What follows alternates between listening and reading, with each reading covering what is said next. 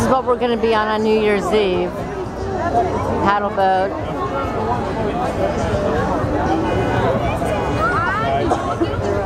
Hometown Key Largo.